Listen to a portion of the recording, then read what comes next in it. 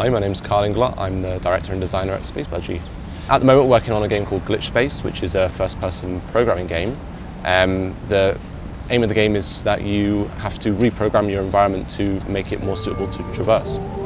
You have to go through various levels, and the levels have uh, several puzzles, and um, and you must you have to solve them. Most of them are um, maths-based. Um, some of them are logic.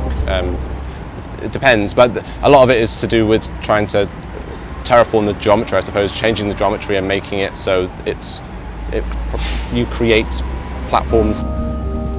From the beginning, we wanted to create a, a VR version, um, so we had that in mind with our design that we would create a game that did support the Oculus Rift. So that has been a focus. But uh, as we progressed, we, uh, we we haven't been focused on it so much recently, mainly because uh, because uh, because we're now selling it um, and we don't have Unity Pro, so we can actually sell it with, we don't have the license to, to actually sell it with the Oculus Rift support. But uh, we're still working on it and we're still, you know, we're still aiming to put it in once we do get Unity Pro. We've had to do lots of testing, lots of making sure that, you know, people aren't vomiting when they're playing. Um, and uh, yeah, I mean, that's about it really. We, we, we, test it on various other games as well, so we were testing ideas in, in different games and sort of making sure that our ideas worked.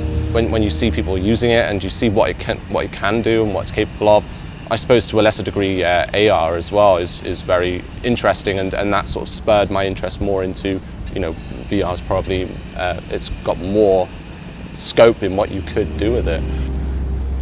I, think that it's going to be mainly stuck with a very, with a very uh, um, set user base uh, and it might not be huge, it might be quite small um, and that will likely expand but I think over the next few years it will probably just be dominated by the, by the indie scene to be honest.